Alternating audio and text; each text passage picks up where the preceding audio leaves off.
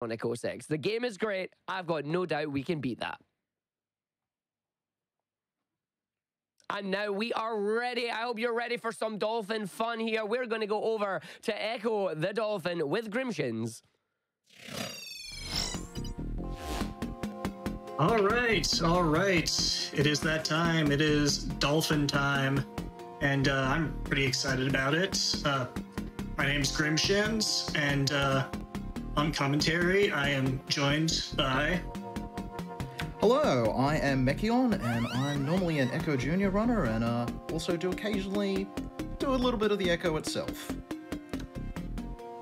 Yeah, this is the uh, first Ecco the Dolphin game. Uh, I previously ran its sequel at uh, GDQ Hotfix, and uh, yeah, this is a really fun game. It's gonna move really, really fast uh, for the first uh, little stretch of time, and uh, then it'll slow down a little bit, and I might have some time to explain what's going on. But uh, just get to the uh, screen here, and uh, time will start uh, when Ecco appears on the next screen after the black transition screen. There's not really a good way of counting it down, but I'll just go ahead. Oh, and uh, one thing this game does have some uh, flashing lights in the first level, so if you're sensitive to that, you might want to look away for like the first uh, 20 seconds or whatever. But uh, with that, uh, let's get right to making this dolphin go fast. And uh, three, two, one, go. And immediately we jump into the sky and trigger a storm. And goodbye, family. It's okay though. We'll we'll get him back. We'll find him. Uh, this next level is very short because uh, we exploit a glitch that occurs when we bring up the sonar map on the opposite screen from the exit, and that's the level. Normally, that does require you to have to search through the whole level to get a glyph, and in this case, just bypass it. The Undercaves here is the first kind of tricky level in this game. Uh, not a lot of opportunities to surface for air. And being a dolphin, uh, you need air, because otherwise you suffocate, as most living creatures typically do. There is actually a rather large, slightly famous enemy in this level. We're not going to be seeing eight arms in this particular level on the run, however, as we can just do that very handy little glyph skip there. By charging at exactly the right angle, we get the glyph to sort of do what it's supposed to do, but in the wrong way, and push us through it. Yep, the uh, game sort of assumes, oh, you're colliding with the glyph, let me uh, push you in the opposite direction you're facing. So if you uh, hit the uh, glyph at, you know, a backward angle, it ends up pushing you through the glyph rather than away from the glyph. We're supposed to rescue some dolphins on this level, but uh, there's no reason to. It gives you a song that's kind of useful, but we don't actually use it in the speedrun. Uh, this level has a bizarre glitch. I'll let Mech try to explain it. So what he's doing here is he's positioning himself diagonally, up left against the rock, then charging towards the jellyfish, and that makes Ecco just glitch through the wall, and we go home free because we get the end of the level. It just works, we don't know how, we don't know why, it just works. I think it has something to do with uh, when Ecco charges, he locks onto the enemy, and that kind of forces him down a little bit because he's aiming at the jellyfish that's uh, at a slightly below 45 degree angle to him. That's correct. And this one, we actually push that shell along. We're normally supposed to use something else to break that rock, but because we just push the original shell along, we don't need to go and gather that. And this is the first of many instances of walls being suggestions in this game. There's uh, just enough of a lack of hitbox there to kind of phase Ecco through. Walls being suggestions is a common theme in the Ecco series. You'll see it come up if you see runs of the other games. Gotta carry these stars over to break a rock wall here. And I am pretty low on oxygen. This is the one area in the game where oxygen is kind of scarce because this glyph skip requires uh, a little more complicated inputs than the other ones and takes a little longer. So as you can see, I'm losing health now, but managed to get through. And uh, this level is very straightforward. I just need to get on roughly this angle here. And uh, if you have any donations, I mean, this level's about a minute long, I guess. So now would be a good time. We do indeed. We have a $250 donation from Zero Praxis. And they say, so proud and happy to see my friend Grimshins showing off his talent and dedication in a cool run of an awesome, unique game. Good luck Wow. today. Kill it. Wow. Thank you. Thank you, Zero Praxis. that is incredibly generous. Uh, so, like I said, this game uh, has been moving pretty quickly. You may have remembered uh, Angry Video Game Nerd released a video about this game a while ago. Took him an hour and a half to get to an area that we got to in a minute and a half. So, yeah, we're kind of booking it. This uh, glyph skip here is one of the more finicky ones. Takes a couple attempts sometimes. And uh, this level is kind of famous for having some really nasty ice cubes that can crush you. But uh, we're going to skip past most of them. And again, walls being suggestions, glitch into there, swim to the exit. You can actually die if you do that glitch incorrectly, which I've unfortunately done a fair few times, but Grim masters that one. All right, managed to actually get a fast key glyph pickup there by hitting it while I was in midair. Uh, that's actually fairly uncommon, so that bodes well.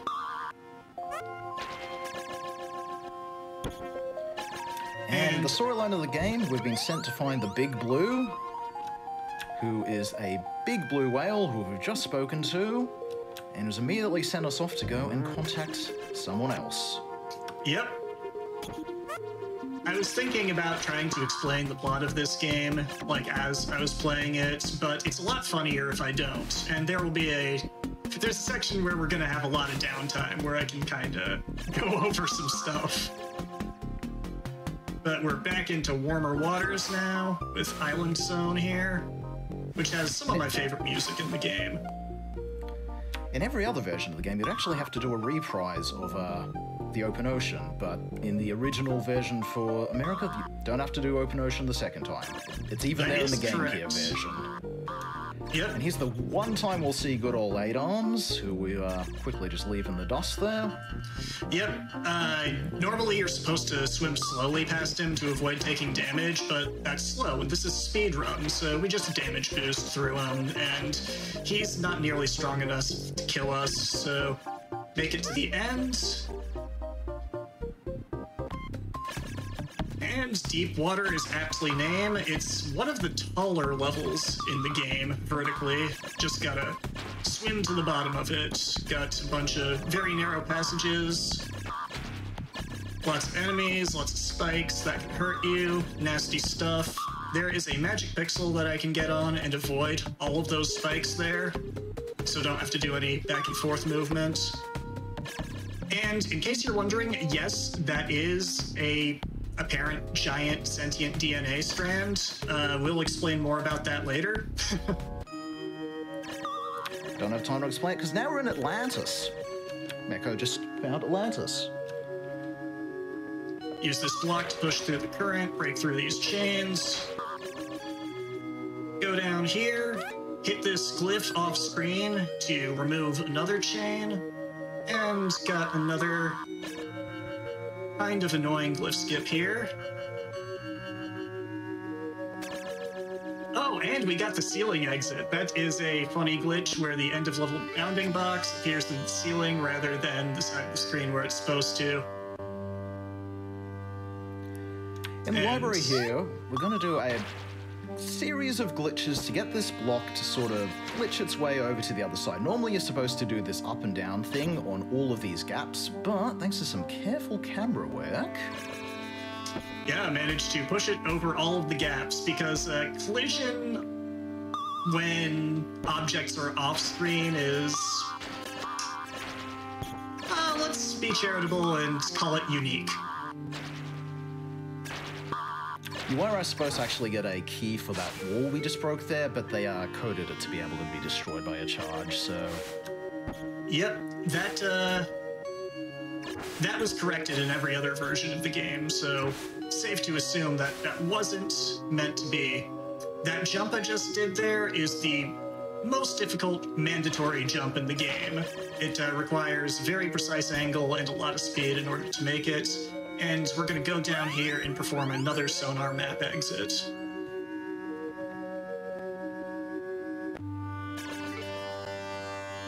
This, this final level here, the City of Forever, uh, this one's so difficult there's actually a del- developer intended shortcut that they've just put just there. Yeah, the level is probably the hardest level in the game if you don't take that shortcut, and the developers were merciful with that. And uh, there's time travel in this game, by the way. We are being sent 55 million years back into the past in order to help the asteroid obtain one of his missing globes. His The asteroid being the uh, giant DNA strand that we saw.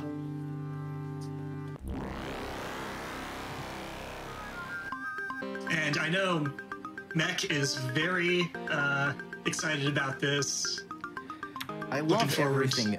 I love everything about this section. It doesn't make any sense. Uh, these fish we're seeing there, those are Dunkleosteus. They're a placoderm that went extinct uh, 358 million years ago-ish. Uh, that Pteranodon is based on the art, based on some actual rather famous artwork that you can very easily find on the internet. They went extinct about 80 million years ago, so not really matching up on that 55 million years ago. Walls, once again, a suggestion. And uh, coming up is a very difficult glitch that could potentially soft lock the game, but I'm gonna go for it anyway. This particular glitch sort of manipulate the camera in such a way that the game doesn't really know what to do with Ecco once the Pteranodon lets go of us. Everything seems normal now. That will change.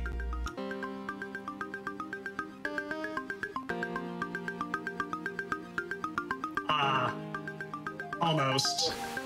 Did not manage to initiate the zip, but that's okay because did not soft lock the game. If you do that correctly, Ecco will get stuck in the wall for a moment, then violently zip through to the uh, right of the screen, passing through two walls and skipping about half of the level in the process. Uh, if you mess that up, you end up stuck floating through the air in an infinite loop. Uh, you, your only choice at that point is to wait until Ecco runs out of air because thanks to that uh, reverse air swim we did to get up to the Pteranodon, the game thought we were still underwater.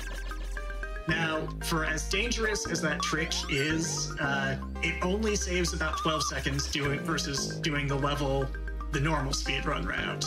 So, uh, you know, you try to go for it for swag, but there's backup if it doesn't work. Unfortunately, we got the backup. Uh, the thing that's chasing us is a trilobite. They're the worst enemy in the game. For sure. Uh, they happen to be incredibly tenacious. They home in on you. They follow you across the entire level. And uh, most of the time, they're doubled up. So two are overlapping each other, which means it takes uh, twice as many hits to get rid of them. Trilobites themselves went extinct about 252 million years ago, so wouldn't have seen the dinosaurs, certainly wouldn't be around at 55 million years ago. And now comes Trilobite Circle, which, uh, as you can guess, has even more of the trilobites. And this one that's going to follow me is particularly nasty because it's going to do its level headed best to try to mess up this glyph skip that I'm doing here. Fortunately, we beat it in the race. And just need to get up here and get the flying trilobite in the level exit. Dark Water here is normally actually a very long level that requires you to go down to the very bottom, uh, go through a whole sequence of unlocking glyphs. We're just going to skip all of that. Yeah, very convenient. One of those shortcuts is developer intended. This glyph skip, of course, is not. Us through the glyph. Yeah, we are going to play Connect 4, and I really didn't want to get red because it's slightly slower, but I also don't want to die. So I'm going to just go ahead and. Uh, so, we were sent back to the past to retrieve the asteroid's missing globe. As it turns out, the only reason he was missing a globe is that he sent us back into the past to retrieve his missing globe. This game hits us with a lovely time paradox there. Well, thankfully, just have to redo Deep Water once more. And return the asteroid's globe in order to get the next step towards saving our family.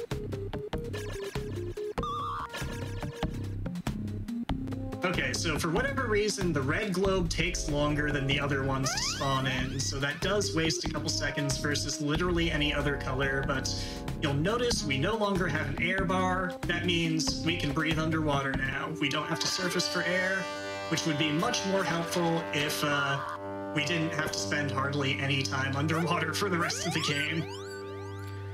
Indeed, the next two levels are just repeats. Firstly, just a quick City of Forever, which we just do the exact same shortcut in.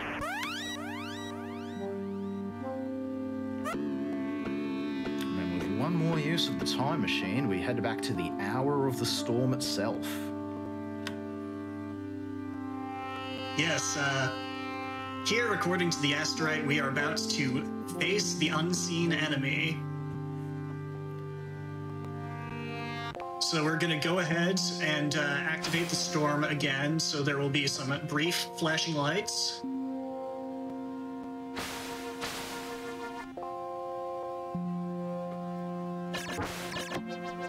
And this time we are taken up with our family into space.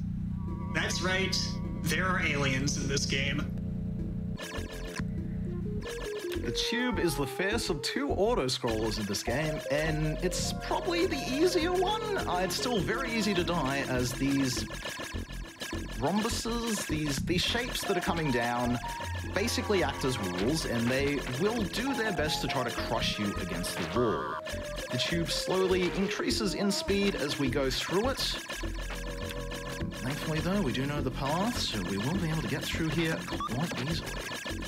Once we get to this section with the zappers, we can just stick Ecco's nose in roughly the center of the screen, and we will bypass all of the uh, barriers because their hitbox does not extend to cover their entire sprite. At a certain point, uh, there won't be any more barriers, and we just need to deal with these zappers. If I uh, keep tapping the D-pads in sort of a rhythmic fashion to keep Ecco in roughly the center of the screen, uh, the zaps will not kill me. Uh, so this and the next auto scroller amount to like uh, more than seven minutes of game time. So if you've got any donations, now would be a really excellent time to uh, get as many of them out as you need to. We have got plenty of love for your run here and for Ecco. Going to start with one big one here. We got a hundred dollar donation from Nally Nally that says Speedy Dolphins are the best. Grow Grimshins and Ecco. Thank you so much, Nally. Uh, that is uh, my sister. Uh, we grew up playing this game. She was really into marine biology, and uh, I was into video games, so it was a match made in heaven. Well, that explains the next donation we've got here. We got a, uh, a $10 da- donation from Ali saying, hoping for some cool, totally legitimate marine biology facts from your run. Good luck. Uh, I guess uh, that counts as a totally legitimate marine biology request, channel point redemption for me.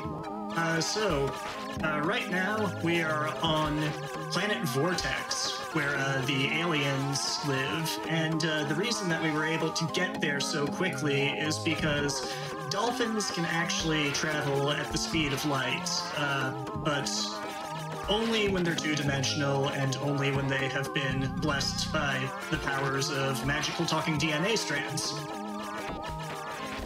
Sounds accurate to me. These uh, enemies are uh, infinite respawning, uh, and thing about this stage, even though we have regenerating health, uh, we don't have much in the way of iframes. So if I am overlapped by an enemy, I will constantly take damage.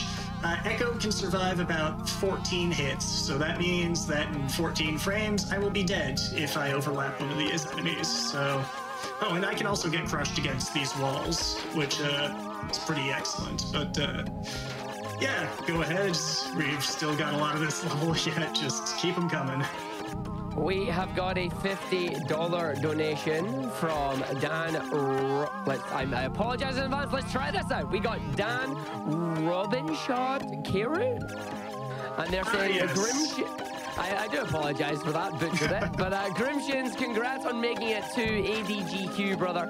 It's been a long road, but we're all so proud. Here's to a great run with time traveling dolphins and to a great cause. Thank you, Dan. That's awesome. Appreciate it. And we also have a $25 donation from a Sparky Lurk Dragon saying, Hi Grimshins, greetings from the Caverns of Hope community. I may be more of a lore hound within the Ecco fandom, but it's always a treat seeing any Ecco game snapped in half by a skilled runner. Who needs swimming slowly to keep control? We're all about swimming fast for our breath here. Thanks for bringing our beloved dolphin back to GDQ, and good luck. Thank you. Caverns of Hope is a really awesome Ecco community. Definitely check them out. And we've also got a hundred dollar donation from Jonathan saying Super Metroid isn't being run this event, but you're playing Ecco the Dolphin, so I guess this donation goes to saving the animals anyway. We will try our best.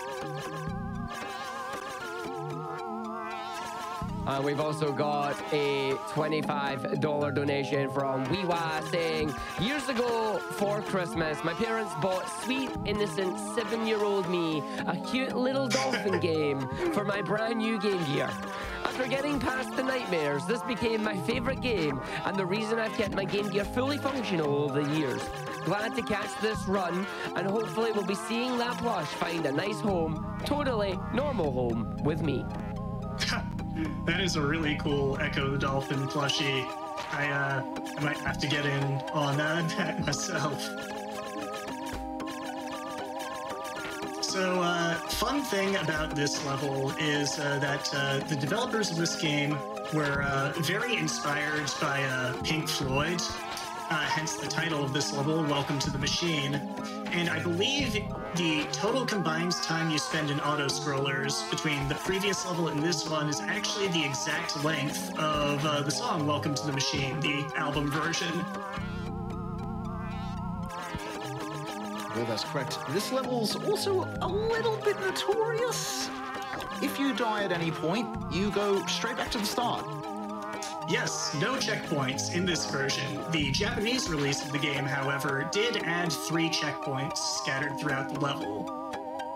But uh, the Japanese version also corrected nearly every glitch that we use in the speedrun, so doesn't get a lot of love from the uh, speedrunning community, unfortunately. Also is a Sega CD or Mega CD version, sort of a midpoint between the two, which does actually include some new levels, which uh, I want to use as a tile set from Ecco 2, but unfortunately, well, or fortunately in this case, the all of the glitches were removed in this in CD version as well. So mostly when it is an Ecco 1 run, it's mostly just the original. The uh, the final boss is also substantially easier on the Genesis, even though it's due to a mechanical reason that seems like it would make it harder.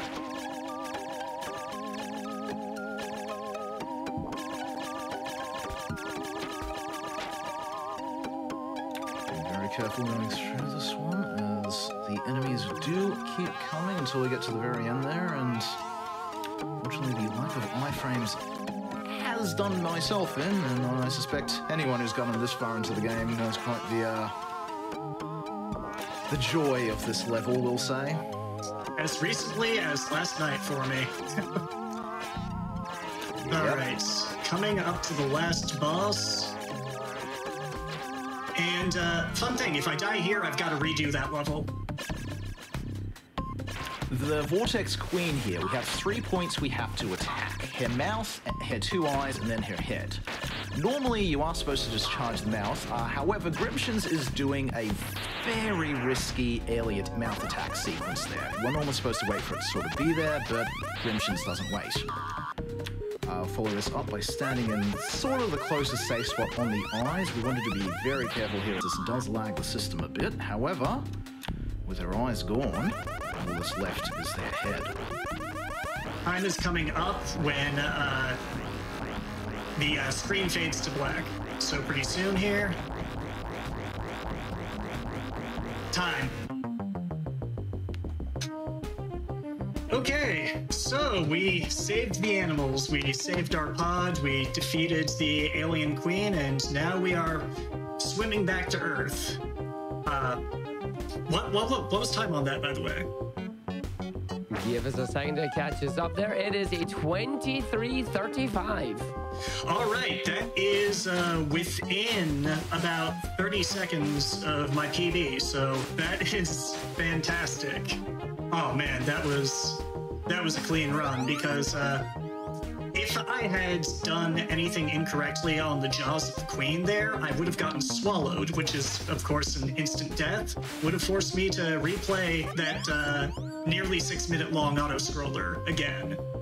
Uh, yeah, just I couldn't be happier with how that went, and I'm so happy. Thank you so much to everyone who donated. Uh, this is a uh, cause that is very important to me. Uh, I lost my uncle due to cancer uh, back in uh, 2007. Uh, so that's uh, you know, this is cause very near and dear to my heart. Thank you so much for uh, giving everyone. Thank you, Mecheon, for offering the great commentary, and thanks for the excellent hosting, Argick. Just couldn't be happier right now. Well, thank you for this amazing run. You've done a fantastic job with it. Uh, everybody has been enjoying it. They've been loving it.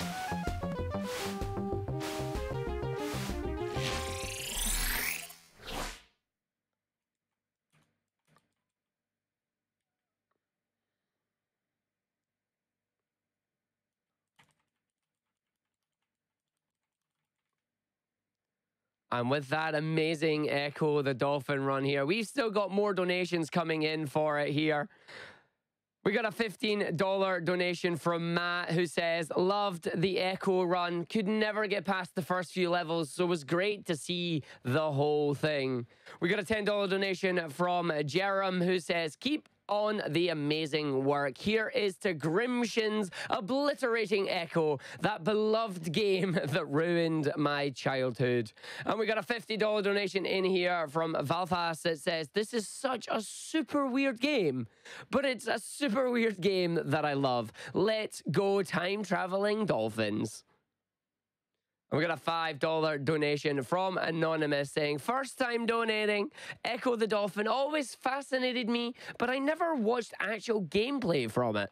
Thank you to the GDQ staff for continuing to run this event, serving as a shining beacon for this new year. And we've also got a $5 donation here from Big the Dave that says, Great runs, great commentary. This goes to the Sonic 06 Glitch exhibition. Great runs, great commentary. Wait, is there an echo in here? Thank you very much, everybody, for your donations there. Don't forget that you can put your donations towards any of our donation incentives that we have currently running. We are running quite a few. We've got two for Sonic 06, and we have our bonus Skyrim game as well. Bonus game one, The Elder Scrolls Skyrim. It is currently sitting at, if I do a quick refresh, get an update here for Skyrim currently sitting at 39,608 $18.40 out of that $45,000. And of course, we have ever coming up, ever closer, really running up on us, going really fast, is that Sonic 06 Glitch Exhibition. If you want to see even more Sonic 06, if you want to see the fun glitches that we have coming up, then be sure to donate towards that one. It's currently at $6,849.62 out of 15,000. We have, I believe, about seven hours before that one comes up. So we can do it. We can